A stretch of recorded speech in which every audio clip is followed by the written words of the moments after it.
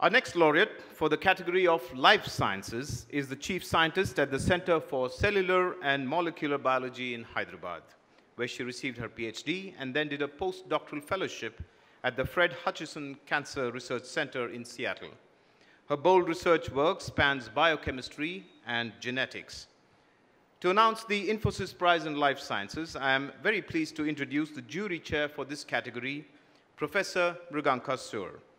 Dr. Sur is the Newton Professor of Neuroscience and the Director of the Simon Center for the Social Brain and an investigator at the Picower Institute of Learning and Memory at MIT. He received the Hans Lukas Teuber Scholar Award in Brain Sciences in 1997, the Sherman Fairchild Chair in 1998, and the Newton Chair in 2008.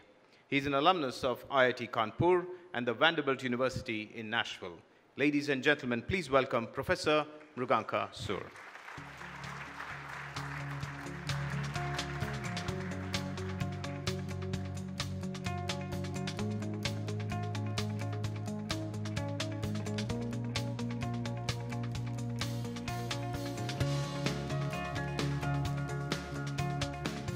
Um, the Infosys Prize for Life Sciences is awarded to Manjula Reddy for her groundbreaking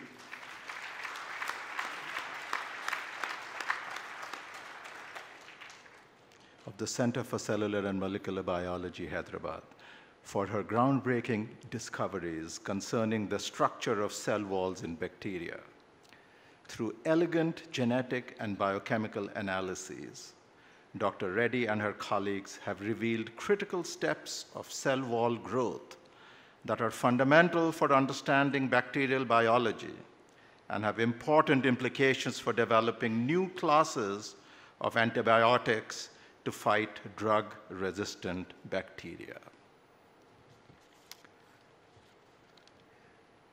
It is not an easy matter to make progress in a field that is 100 years old. For 100 years, we have known about bacteria and the fact that bacteria mutate, they grow, they proliferate, and for a considerable period of time, we have known that that is the cause of certain classes of infections and disease. But the jury for life sciences, consisting of Paola Arlotta, Caroline Dean, Eric Lander, John Kuriyan, and KJ Patel, was unanimous in its choice of Dr. Reddy for the extraordinarily bold and creative experiments that she performed to examine new ways of looking at how bacteria divide and proliferate. All existing antibiotics target the late sometimes the last stages of bacterial proliferation. Dr. Reddy had the astonishing insight to study the very earliest stages of how bacterial cell walls make space for new materials to be inserted via the action of spacemaker enzymes. And these very early processes of cell wall growth, which she examined using combination of genetic and biochemical analyses, and if I may say so, in this era of data-driven, unbiased approaches using extraordinary insight, hypothesis-driven approaches, she was able to show the fundamental biology of how bacteria begin to proliferate by creating space in their cell walls.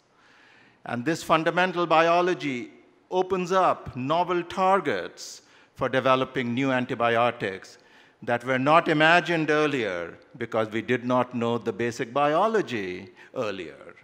So this, to our jury, represents a beautiful example of how basic science, done for curiosity perhaps, and trying to understand a fundamental process of life, nonetheless, will provide new targets, we hope soon, that will lead to new classes of antibiotics as a protection against, antibio- against the current antibiotic resistant bacteria. Professor Reddy. Thank you, Professor Sur. Fascinating work uh, working on the bacterial cell walls. And here is Dr. Manjula Reddy reflecting on her work and mission. My work involves working with bacterial cell walls. How do they grow and divide to make daughter cells is what my research interest is. I am Manjula Reddy and I am a bacterial geneticist. My parents wanted me to go into medical field. However, during my college days, I entered the chemistry lab and that's where my calling came. What drives me each day is the curiosity to examine my experimental results. First thing I do each day is to go straight to my incubator, look at my bacterial plates and then also to interact with my students about their results. For me, exploring the unknown is important because that is the key to future development and that is how I have discovered how bacterial cell walls grow and divide. Research is something which is continuous and doesn't come at, at a single point.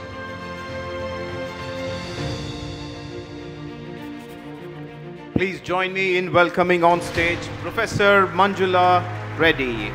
I request Mr. Nandan Nilekani, co-founder of Infosys and a trustee, and Professor Sur to join us for the prize presentation. And may I request Professor Amartya Sen to present the Infosys Prize in Life Sciences to Dr. Manjula Reddy.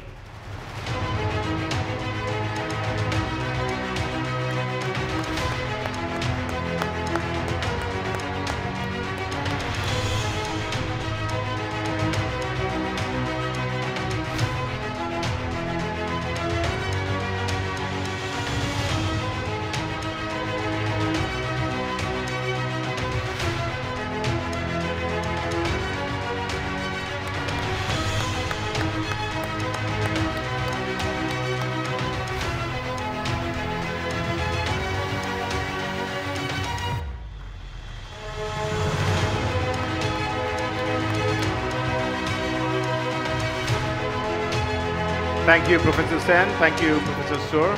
Thank you, Mr. Nilekani. Dr. Reddy, a few words, please.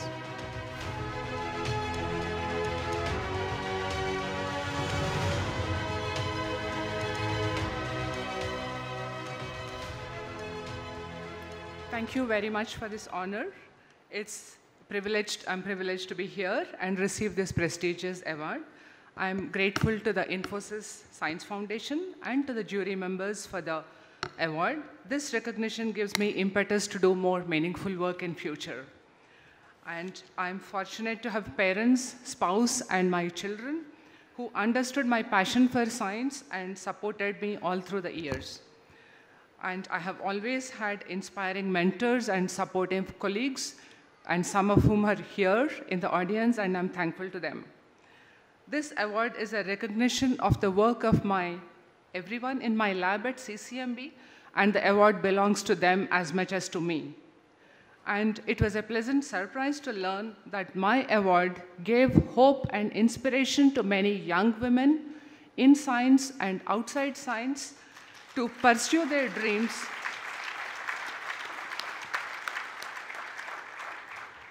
pursue their dreams while balancing the societal and family expectations of them. So this is an important milestone in my life, and I'm thankful to all of you to be part of it. Thank you once again. Ladies and gentlemen, Dr. Manjula Reddy, thank you.